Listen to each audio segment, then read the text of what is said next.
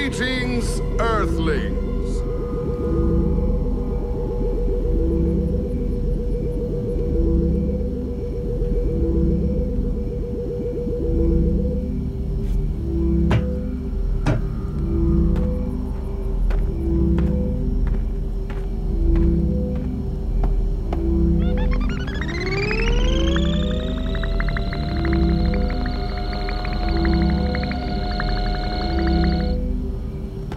I come before you as a representative of the Intergalactic Union of Sentient Beings from all known universes and beyond. We have been observing your species for many, what you call, years.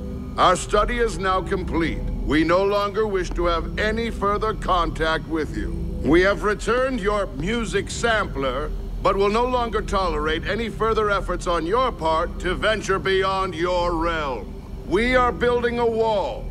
It will be a beautiful, albeit invisible, electromagnetic wall that will subatomically incinerate any probes you attempt to send beyond your solar system. You're free to explore Uranus all you want. But we can't allow your kind to infiltrate the rest of the cosmos.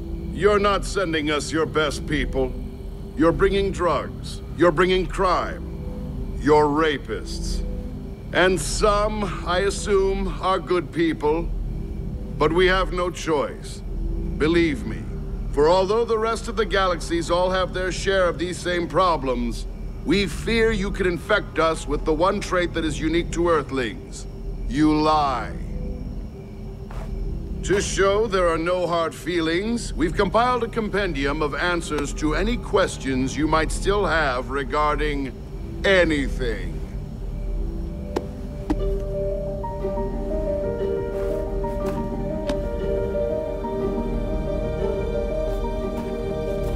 Good luck and good riddance.